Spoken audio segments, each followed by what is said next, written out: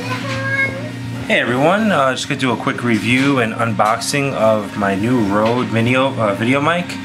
Um, I have two cameras I use primarily as a DSLR I use for video, and then ultimately my Canon uh, camcorder that I use. So what's nice about this is I can mount this onto each of my devices.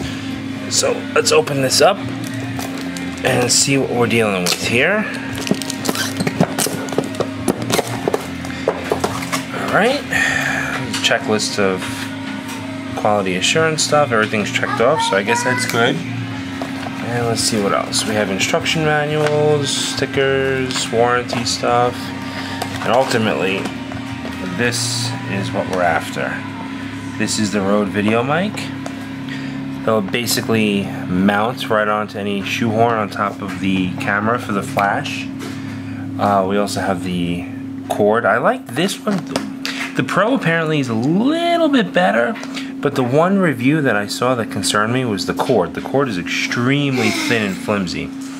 So I went with this one. I heard that the sound difference is nominal, so uh, this is mounted on a suspension. Uh, if you can see here, there's little springs, rubber springs that go back and forth. So it kind of allows this device to sit on its own little uh, suspension, so to say, for lack of better words. I'm to mount it up in a little while and I'll go ahead and do a demonstration and I'll let you know what I think of it. It's light, takes a 1A, uh, I think a single A battery.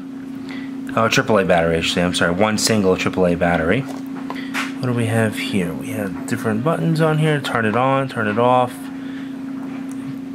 think it's a high-low pass or something. I haven't looked at it yet.